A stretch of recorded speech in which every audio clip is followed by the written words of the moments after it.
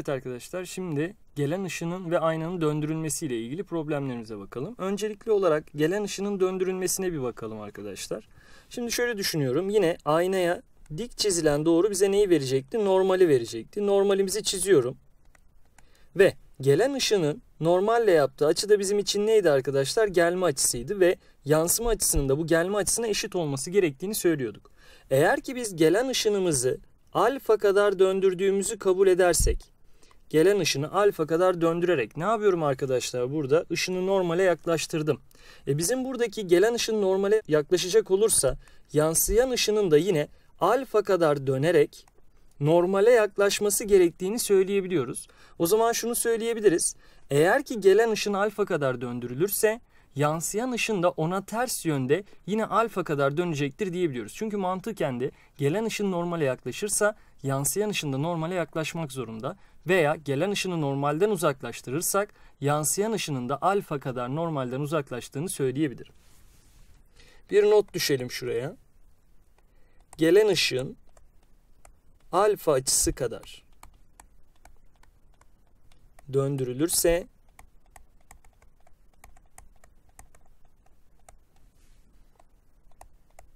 yansıyan ışında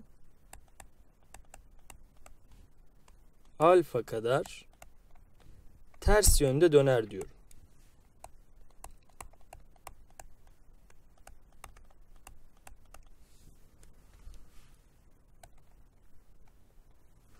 Eğer arkadaşlar aynamızı döndürecek olursak, aynamızı döndürdüğümüz zaman burada ayna döndüğü anda arkadaşlar aynayı alfa kadar döndürecek olursan aynı zamanda ayna ile beraber normalimizi de döndürdüğümüzü söyleyebiliriz.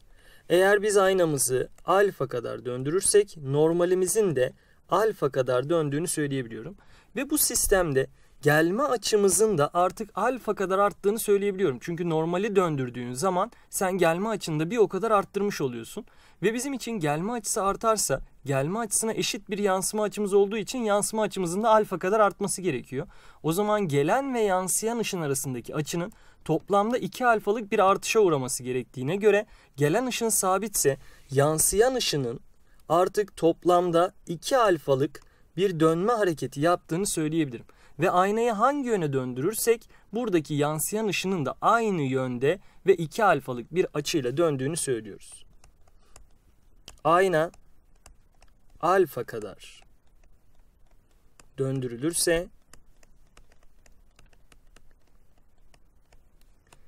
yansıyan ışın aynı yönde 2 alfa kadar döner.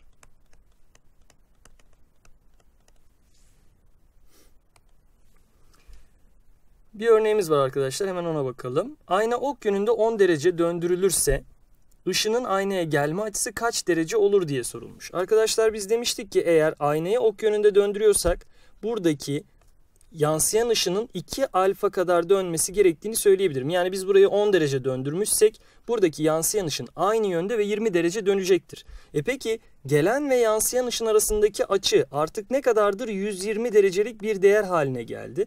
O zaman şunu söyleyebiliyorum. 2 tane alfa eşittir 120 ise alfa dediğimiz değerin 60 derece yani gelme açımızın 60 derece olduğunu söyleyebiliyorum. Kutu içinde düzlem aynaya gelen I ışını I1 gibi yansımaktadır. I ışınının I2 gibi yansıması için ayna kaç derece döndürülmelidir diye sorulmuş. Şimdi arkadaşlar öncelikli olarak bir yön verdiğimi kabul edeyim. Ben buraya pozitif yön, buraya da negatif yön dediğimi kabul edersem. Bizim gelen ışınla herhangi bir işimiz yok. Öncelikli olarak ne yapıyorum? Buradaki gelen ışını almadan yansıyan ışınları x-y koordinat sisteminde yerleştiriyorum. I1 ışınımızın yatayla yaptığı açı 40 derece. I2 ışınının yatayla yaptığı açı da 60 derecedir diyoruz. Sonrasında arkadaşlar buradaki gelen ışını sadece aynanın konumunu belirlemek için kullanıyorum.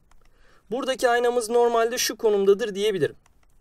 Eğer ki aynamızı biz eksi yönde döndürecek olursak ayna eksi yönde döndürüldüğünde buradaki gelen ışın artık otomatikman ne olacaktır? Buradaki aynanın arkasına düşecektir diyebilirim. Ve aynanın arkasına düşen bir ışının yansıma yapmasını bekleyemeyeceğiz. E o zaman demek ki bu aynanın pozitif yönde döndürülmesi gerektiğini söyleyebiliyoruz arkadaşlar.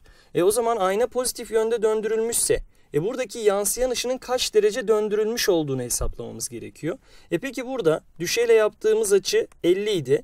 Buradaki düşeyle yaptığımız açı 30 dereceydi. E buradaki yansıyan ışın toplamda 80 derece döndürüldü. E peki biz demiştik ki aynayı alfa kadar döndürürsek yansıyan ışın 2 alfa kadar dönüyordu. 2 tane alfamız 80 derece ise alfa dediğimiz değerin 40 derece kadar olduğunu söyleyebiliyorum. Kutu içindeki düzlem aynaya gelen K ışını bir yolunu izliyor. Işının iki yolunu izlemesi için ayna kaç derece döndürülmelidir diye sorulmuş. Arkadaşlar öncelikli olarak yine benim gelen ışınla herhangi bir işim yok. Öncelikli olarak yansıyan ışınları yerine koyuyorum. Şurada 40 derece, şurası birinci durum ve buradan da ikinci yansıyan ışınımızı yerleştiriyorum. Burası da dik bir konumda. Şimdi sadece gelen ışını aynanın konumunu belirlemek için yerleştiriyoruz.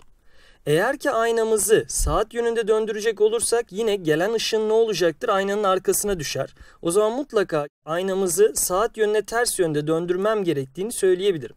E peki ayna saat yönüne ters yönde döndürülmüşse yansıyan ışın da saat yönüne ters yönde dönüyor demektir. E peki dönme miktarı ne kadar arkadaşlar? 50 derece kadar. E peki biz ne demiştik? Aynayı alfa kadar döndürürsek yansıyan ışın 2 alfa dönüyordu. 2 alfa bizim için 50 ise buradaki alfa değerinin 25 derece kadar olduğunu söyleyebiliyorum.